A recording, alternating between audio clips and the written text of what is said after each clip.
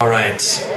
We now have lots more things to do for you. We're going to play a song that um, you may or may not know this one. It's, it only came out a few years back. It was played one time on a tour back in around 1971. Um, and it's got sort of a almost a marching band kind of sound to it, which is unusual for Frank's music. Uh, so this song is called Imaginary Diseases.